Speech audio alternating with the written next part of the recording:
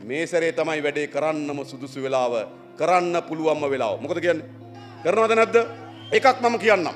අපිට දැනුවත් කරන්න පුළුවන්. අපිට වැඩපිළිවෙල හදන්න පුළුවන්. රට ගොඩනැගීමේ සැලැස්ම හදන්න පුළුවන්.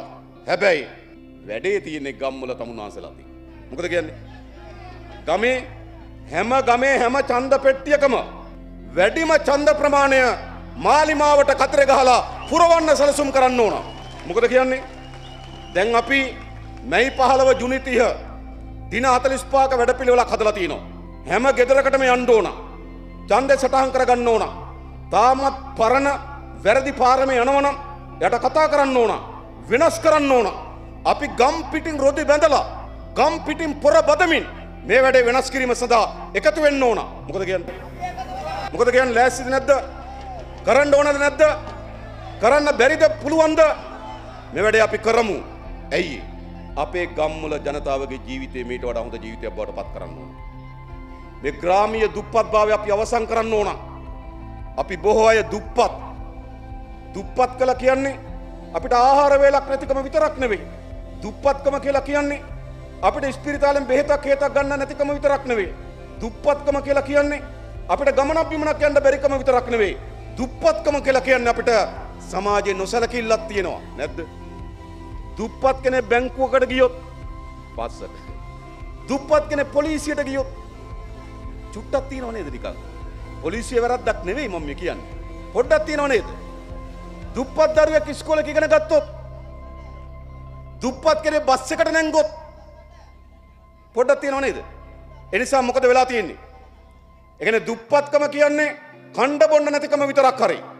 දුප්පත්කම කියන්නේ බෙහෙතක් හේතක් නැතිකම විතරක් හරි. දුප්පත්කම කියන ගෙයක් දොරක් නැතිකම විතරක් හරි නෙවෙයි. දුප්පත්කම කියලා කියන්නේ සමාජ පිළිගැනීමක් නෑ. එහෙම නෙවෙයිද? සමාජ පිළිගැනීමක් නෑ අද. එහෙනම් අපිට අවශ්‍ය මොකද්ද? ආර්ථික වශයෙන් අපි පොහොසත් වෙන්නත් ඕන. සමාජීය වශයෙන් අපි පොහොසත් වෙන්නත් ඕන. ජාතික ජනබලවේගයේ වැඩපිළිවෙල යනු දුප්පත් ගම්වල ජනතාවගේ ආර්ථික තත්ත්ව දියුණු කිරීමත් ඔවුන්ගේ සමාජ තත්ත්වය දියුණු කිරීමත් තමයි ජාතික ජනබලවේගේ වැඩපිළිවෙල බවට පත්වෙලා තිබෙන්නේ. එනිසා අපේ රටේ ජනගානයෙන් සියට හැට අටකට මහබැංකු වාර්තාව කෙනවා හරියමං ආහාර වේලක් නෑ කියන. ජනගානයෙන් සිට හැට අටකට ස්වල්ප ගානක් නෙවී. මොකද කියන්නේ ගොල්ලු. ඒගොල කියනවා වාර්තාවෙන් කියනවා ජනගානයෙන් සියට හැට අටක් තුන්වේල කනවා ටික ටික. එක්කෝ තුන්වේල කන්නේ නෑ දෙවේලක් කනවා.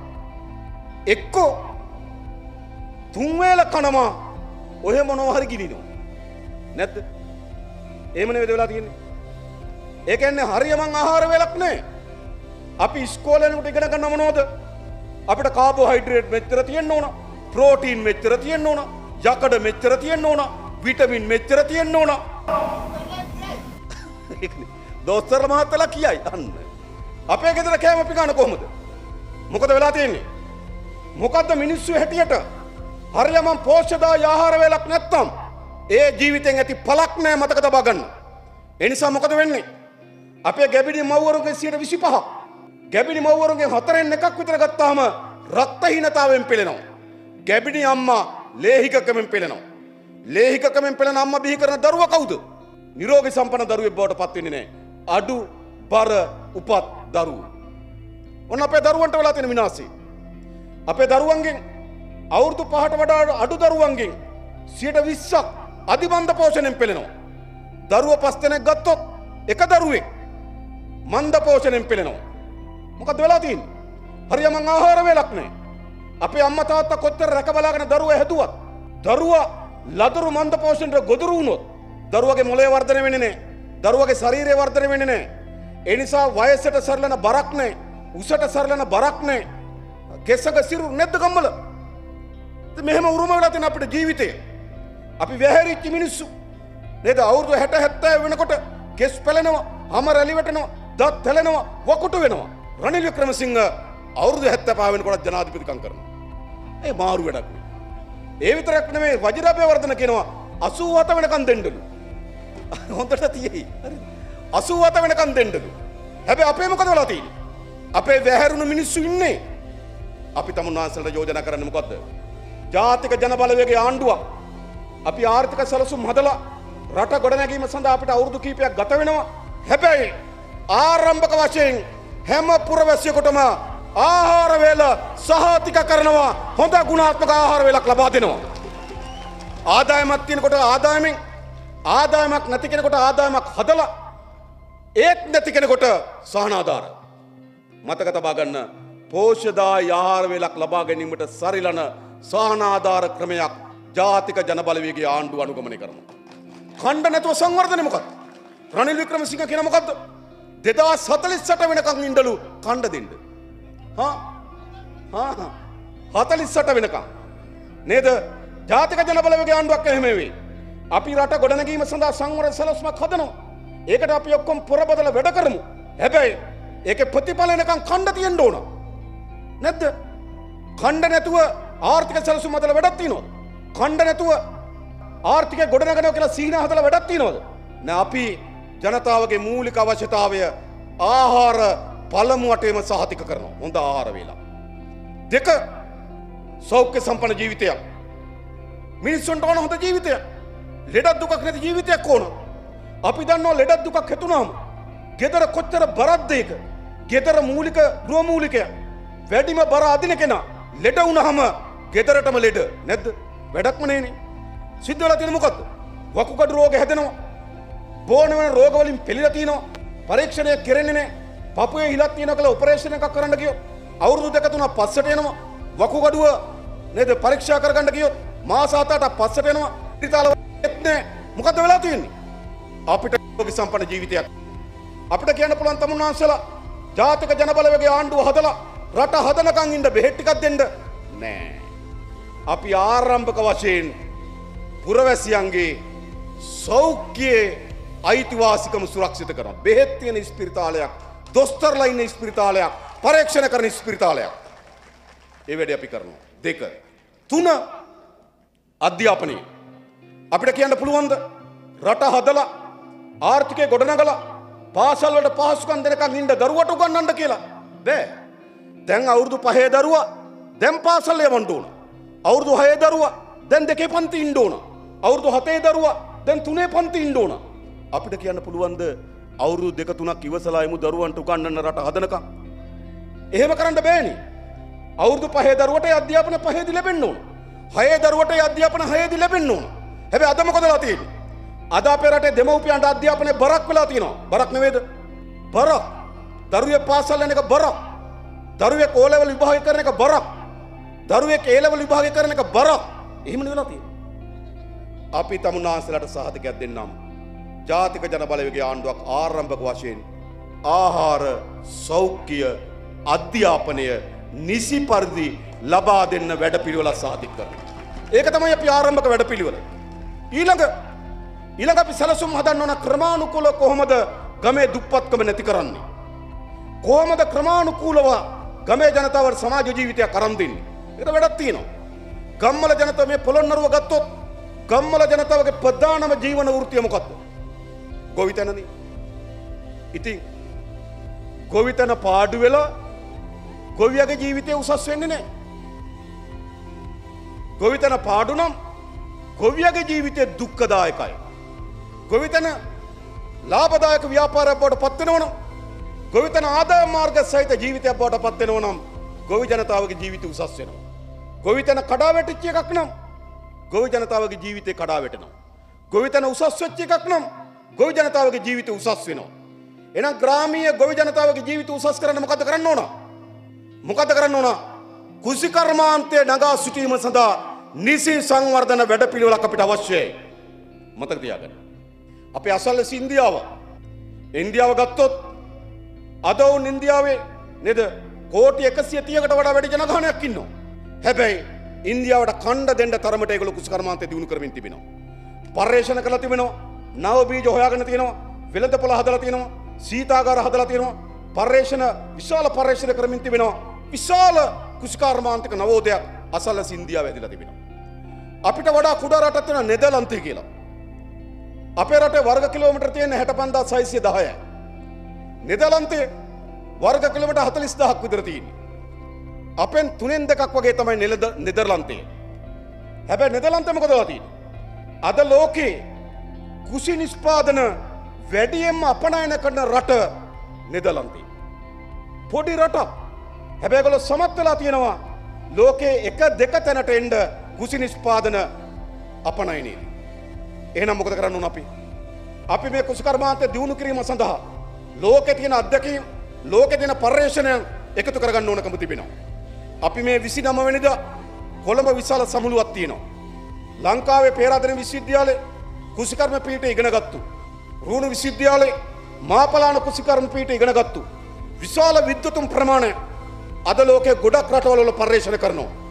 මට ඒ පෙරේද හම්බුණා ඇමරිකන් එක්සත් ජනපදයේ ලංකාව ඉතාමත් කුසිකර්මාන්තයේ විද්‍යාත්නී ඕ කිව්වා ජාතික ජනබලවේගේ ආණ්ඩුවකටද වැඩ කරන්න එයා එන්ඩ කැමතියි කිය මතදිය.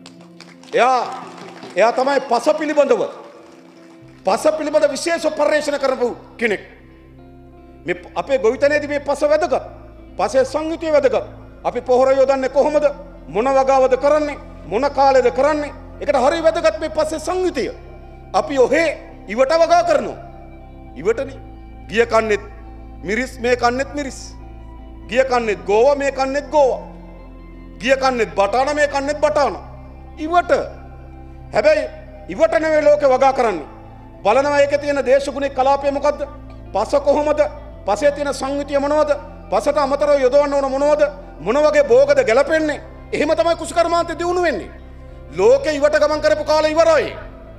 ඉස්සර අපේ අම්මල තාත්තල වගා කරේ අහසදියා බලලා.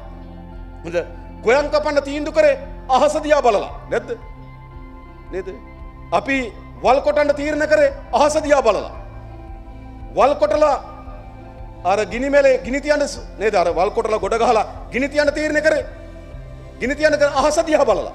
ආ වහින්ඩ වගේ දැන් ගිනිතියන කාලය හරි. කියන්නද මෙමන කරේ. දැල් ලෝක ඉවට වගා කරපු කාල ඉවරයි. ඉවට ගොවිතැන් කරපු කාල ඉවරයි. දැල් ලෝක වගා කරන්න ගොවිතැන් කරන්නේ දත්ත පර්යේෂණ විද්‍යාවන් මත තමයි මෙවා කරන්නේ. එනිස ලෝක කුස්කර්මාන්ත පිළිබඳ විශාල පර්යේෂණ ආයතනවල ඇමරිකන් එක්සත් ජනපදේ ජපානයේ තායිලන්තේ ප්‍රසීලේ ඒවගේම නවසීලන්තේ ඕස්ට්‍රේලියාවානි රටවල්වල විශාල ගොයිපොලවල වැඩ කරන විශාල පර්යේෂණ කාල වැඩ කරන කුසි විද්‍යාත්වයෙන් ඉන්නවා. අපි ඒගලන්ට ආරාධන කලතින මේ මාසේ විසිනම වනිදා කොළඹ අපි ඒගොල් එකතු කරලා පර්යේෂණ සමුළුවත් තියෙනවා. ලෝක විද්‍යාත්යන්ගේ සමුළුවක් පර්යේෂකයන්ගේ සමුළුවත් තියලා අපි සැලසුම හදන කුසකර්මාන්තය කොහොමද විද්‍යාත්මක ප්‍රවේශකට එන්නේ. නිකං ඔහේ ජලට මහට තාත්ත වීස්ස මමත් වීහිනවා තාත්ත කරාම්බු හැදවා මමත් කරාම්බු හදනවා එහෙම වගා කරපු කාල ඉවරයි. දැම් වගා කරන්න එහෙමනවෙයි. එක පැත්තකින් විද්‍යාත්මක වගාවක්. අනි පැත්තෙන් දත්ත ඕන දත්ත තොරතුරු ඕන හැම බහන්ඩක් නිස්පාදනය කරන වෙළඳ පොළ දත්ත තොරතුරු මත. දං ඕකොල දන්නවා වැඩියම්ම රෙදි කඩවලට රෙදිගන්න කොයි කාලෙටද? හිංගුරක් ගොඩ රෙදි කඩවලට වැඩියම රෙදිගාන ගන්න කොයි කාලෙටද? අවුරදු කාලෙට. මුදලාලි දන්නවා අවුරදු කාලෙ තමයි වැඩියම් විකිනෙන්නේ අගෝස්තු මාස වෙතර වෙනකොට නෙද? මහේ සල්ලිත් ඉවරයි යලේ කල් සල්ලිත් ඉවරයි නේද? රෙදි කඩවලට අලුතේ රෙදිගේන්නේ නෑ ඒකන මොකක්දයා එයා බිස්සස් එක කරන දත්ත මත. එයා නිකංගෙනල්ල අගෝසු මාසරදික ගොඩ ගහගන්නනේ ජූලි මාසරදි ගොඩ ගහගන්නනේ එයා දන්නා වෙළඳ පොල ඉල්ලුම තියෙන කොයි කාලෙද? වෙළඳ පොලට කොත්තර අවශ්‍යද කියලා එයා දන්නවා. වෙළඳ පොල හැමදාම ඇසිරෙන මොනවාද? දත්ත මත. දැන් සබන් නිස්පාදක ඉන්න ඕනේ අපි හිතමු කවුද? සන්ලයිට් සබන් හදනයි ඒගොල්ලෝ දන්නවා සන්ලයිට් කොච්චර? කොච්චර නානා ඉන්නවද දන්නේ පොළොන්නරුවේ. නිකන් නිකන් හරිද? හරි. ඒ අනුව තමයි සබංග වන්නේ එහෙමනත ලොරි ටොං ගණන් ගෙනල බානවද? එහෙම බාන්නේ නෑ. වෙළඳ පොලේ ඒගොල රිසර්ච් කරන පර්යේෂණ කරලා බලනවා. සුවඳ සබංවලට කොච්චර ඉල්ලුමත් තියෙනවද? පොළොන්නරුවේ.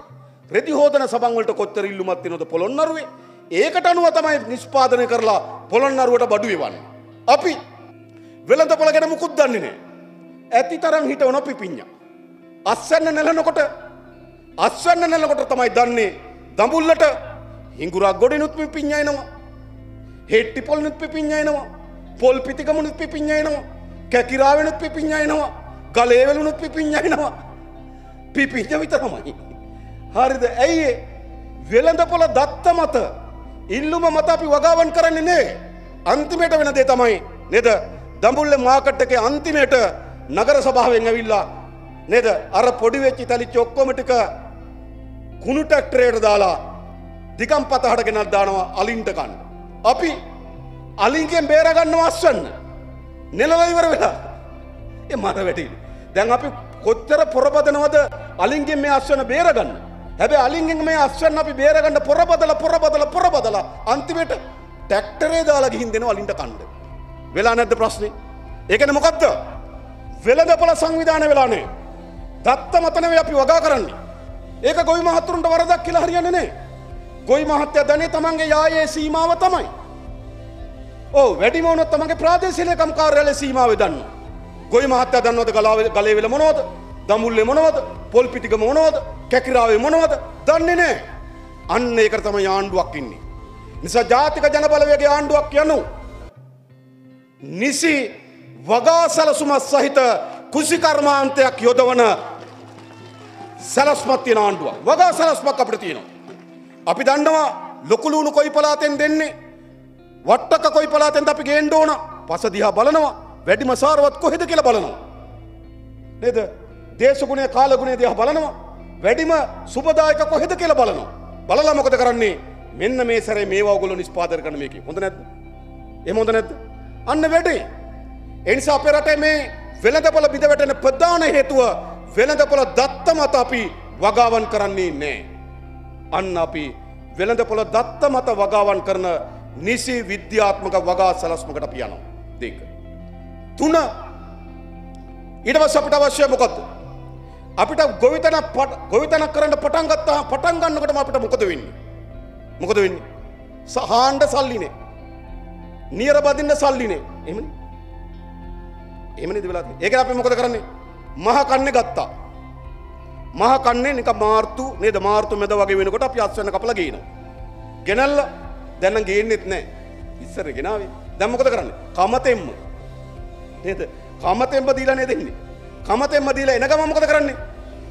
එන ගමන් දැන් තමන් ගොයන් ටික කපලා අස්වන්න නෙලලා නේද අපි බැතටික ගොය බීටික අපි ගෙදරගෙන්න්නෙත් නෑ කමතෙම්ම විකුණලා සල්ලි ටිකක් කරගෙන ගෙදරනකට මොද කරන්න?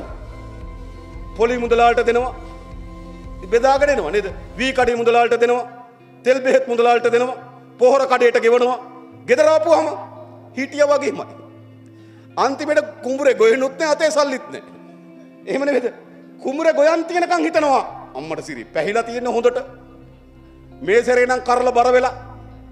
නේද? හොඳට පඳුරු ගහලා යාය සාරවත්. බලාගෙනන්න නෙළුවට පස්සේ. හිටිය වගේ. ආය මොකද කරන්නේ? ඊලක කන්නනකොට හාන්ඩ සල්ලි ඕන. නෙද? මොකද බිත්තර වී ගණඩ සල්ලි ඕන. නියරබන්දිට සල්ලි ඕන. ආය මොකද කරන්නේ? මුද්ද උකස් තියෙනවා. චේන උකස් තියෙනවා. වී මුදලාල්ට යනවා ගාවට යනවා වීටික දෙන්නම් කියක් කරි දෙන්නට කියනවා. කියන්නද මේකට වෙලා තියෙන එකන මොකක්ද ගොවි ජනතාවට ආරම්භක මූල්‍ය ප්‍රාග්ධනයනේ. ගොවි ජනතාවට වගාව සඳහා මූලික ආරම්භක සමුදල් අවශ්‍යය. හැබැයි එහෙම සාධාරණ පොලි අනුපාතිකට සාධාරණ ක්‍රමයකට මුදල් ලැබෙන ක්‍රමයක් නෑ. ලෝක කුසිකර්මාන්තය දියුණු වෙති රටවල් කීපයක් තියෙනවා. තායිලන්තය වියට්නාමය චීනය ඉන්දියාව. මේ හැම රටකම සංවර්ධන බැංකුවත් තියෙනවා. අපිට නෑ. අන්න අපි මොකද කරන්නේ. අපි යළි දියුණු සංවර්ධන බැංකුවක් ආරම්භ කරනවා. ගොවි ජනතාවට ගොවිතන්ට අවශ්‍යන මූලික මුදල් අඩු පොලි අනුපාතිකකට ලබා දෙන්න. අය මුකුත් ඕන නෑ. දැම් නයක් ගණ්ඩ නෙද එක්ක කුඹුර කුඹුර තියන්න ඕන ඇපේට ඔප්පු තියන්න ඕන පැට මුකුත් ඕන්න ගොයි මාතුරු තුන්දෙනෙක් එන්න සහතිකයක් දෙන්න ණය ගන්න ඒක ගොයන් කපල ගෙවන්න. ඉතා පොඩි අනුපාතයට හොඳ නැද්ද? ඉතින් අපි කරමු ආරම්භක ධනය අපි එහෙම දෙනවා. ඊළඟ ආදාය මාර්ග අපි හරියට හදනවා. ඊළඟ ගොවි මහත්තයා වැඩක් පොලක් කරගන්න බැරි තත්වයකට ඇති වෙනවා. දැන් අපිට කියන්න පුළුවන්ද? එයා කුඹුර කෙටුවේ එයා වෙනුවෙන්. එයා කුඹුර රැක බලා ගත්ත එයා වෙනුවෙන්. එයා වී ටික ගෙනල්ලා එයා තමයි කෑවේ. එයා වැඩි හිටි භාවයට පත් වුණාම එයා බලාගන්න. එයාගේ වැඩේ එයා බලාගන්න. අපිට වැඩක් නෑ. එහෙම නෑ. වැඩි හිටි භාවයට පත් වුණාම ඒ ගොවි ජනතාව බලාගන්න එක වැඩේ තියෙන කාටද? ඒ වැඩේ තියෙන තාණ්ඩුවට. එනිසා ලෝකේ හැම රටකම ගොවි ජනතාවට හැමදාම කුඹුරත් එක්ක කොට කොට ඉන්න බෑ. හැමදාම බෑනේ කාලක් එනවා. නේද? කුඹුර කොටන්න කොච්චර කාලයක් ඔයගොල්ලෝ වැඩ කරනවද? ඇත්තටම ඉතින් නේද? කකුල් දෙකේ වාරු තියෙනකන් කොටනවනේ මේවා. කොටන්නේ නැද්ද? නේද? ඔයගොල්ලෝ විශ්‍රාම යන වයසක් තියෙනවද? ද අපේ පොලිසිය මහතුරු 60න් විශ්‍රාම යනවා. හමුදාය මහතුරු අවුරුදු 22ක් වැඩ කරපුවාම විශ්‍රාම යනවා. නේද? ගුරු මහතුරුත් 55න් ඕන නම් යන්න පුළුවන් 60 වෙනකන් ඉන්නත් පුළුවන්. කොයි මහතුරු? විශ්‍රාම යන වයසක් තියෙනවද? නෑ. දෙපේ දෙපායේ වාරු තියෙනකම් මොකද කරන්නේ? කොටනවා කොටනවා කොටනවා කම්බුරනවා ඉවරයක් නෑ. නැද්ද? අන්න. ඒ වැඩ හිටියට බවට පත් වුණාම මහලුවයට පත් වුණාම එයට ජීවිතයක් ඕනේ නැද්ද? ඒවල නැවත මේ පොළවත් එක කොට කොට ජීවත් වෙන්න පුළුවන්ද? බෑ. අපි ඊටාම ශක්තිමත් කුසි රක්ෂණ ක්‍රමයක් ගොවි ජනතාව සඳහා රක්ෂණ ක්‍රමයක් හඳුන්වා දෙනවා. ඒගොල්ලන්ගේ ජීවිතය මහලුවයට පත් වුණාම වැඩ කරන්න බැරි බවට පත් වුණාම ඒගොල්ලන්ට යැපීමට සමත් වෙන ආධාර මුදලක් ලබා දෙනවා. මෙහෙම හදන්න ඕන. නැත්තම් අපි මිනිස්සුද මම අහන්න එකයි. ඔය ජීවිතේ හයිය දෙනකන් කොටලා නේද? ජීවිතේ හයිය නැති වුණාම වැටිලා ජීවත් වෙන්න ඕනේ අපි මොකද කරන්න ඕනකම තිබෙන්නේ? ඒ අවශ්‍ය ජීවිතේ ගොඩනැගීම සඳහා අවශ්‍ය පාසුකම් අපි දෙන්න. මොකද ජනතාවගේ ආණ්ඩු කියන්නේ ඒවට හැබැයි තමුන්නාන්සේලාට විශ්‍රාම වැටුපක් නැති වුණාට මෛත්‍රීට තියෙනවා. ජනාධිපති විශ්‍රාම වැටුපක් තියෙනවා. ජනාධිපති ගෙදරකුත් තියෙනවා. ජනාධිපතිට වාහනක් දෙනවා. ජනාධිපති හිටපු ජනාධිපතිට සිකුරිටි එකක් දෙනවා. හිටපු ජනාධිපතිට තෙල් ගහන්නක් දෙනවා. හිටපු ජනාධිපති ලෙස උයන්නක් දෙනවා. අප්පා. ජනාධිපතිට. මහින්ද රාජපක්ෂරත් දෙනවා. එයාට අර කලින් කදිරගාමර මහත්තයා හිටපු ගෙදර ආණ්ඩුවෙන් දුන්නා. ඒ ගෙදර එයාට සුපර්මන්ති කියලා කෝටි 100ක් වියදම් කරලා ගේ අලුතෙන් හැදුවා. තිබ්බුගේ රෙපෙයාර් කරන්න හොඳේ. තිබ්බුගේ රෙපෙයාර් කරන්න කෝටි 100යි. තමුන්නාන්සලා ගෙයක් හදාගෙන නිවාස අධිකාරියෙන් ණයක් දෙනවා ලක්ෂ 3යි. ගොවි ජනතාවට ගෙයක් හදන්නම ලක්ෂ 3යි ණය. හිටපු ජනාධිපති මහින්ද රාජපක්ෂට ගේ අලුත් වැඩියා කරන්න කෝටි 100යි. විශ්‍රාමික ජනාධිපතිගේ පහසුකම්. එහෙමයි ඒවට කියන්නේ. හරිද? ඉතින් මේක ගෙවනවනේ ඒගොල්ලන්ට. චන්ද්‍රිකාටත් හම්බෙනවා විශ්‍රාම වැටුපක්. ඒ විතරක් දප්පා. තාමත් බලාගන්නවන්නේ අම්මා. බලාගන්නවා ආණ්ඩුවේ. මොනව කෙරුවටද අපිට? මහජනයාගේ සල්ලි වලින් බලාගන්න. මොනව කෙරුවටද? ඉතින් ගොවි ජනතාව ගැන හිතන්නේ මේ ආණ්ඩු. හැමදාම නීති සම්පාදනය කරගත්තේ 50 සම්මත කරගත්තේ තමන්ගේ වරප්‍රසාද තමන්ගේ විශ්‍රාම වැටුප වෙනුවෙන්. ජාතික ජන බලවේගයේ ආණ්ඩු යනු ඒගොල්ලන්ගේ විශ්‍රාම වැටුප අහෝසි කරන ජනතාවට විශ්‍රාම වැටුපක් යෝජනා කරන ආණ්ඩුව තමයි ජාතික ජන බලවේගයේ ආණ්ඩුව. මේ ආණ්ඩුවක් අපි හදන්න ඕන එක සැරයක් හරි මේ රටේ. හදන්න ඕන. එක සැරයක් හැදුවොත් ජනතාව කල්පනා කරනවා මෙච්චර කාලයක් පමා වුණේ ඇයි කියලා. එහෙම හිතනවනේ. දැම්මම හිතලා තියෙන්නේ. හරිද? දැම්මම හිතලා තියෙන්නේ. මෙච්චර කාලයක් පමා වුණේ. නේද? ඒ නිසා මොකද කරන්න ඕන? අපි එකතු වෙලා හොඳ ආණ්ඩුවක් හදමු.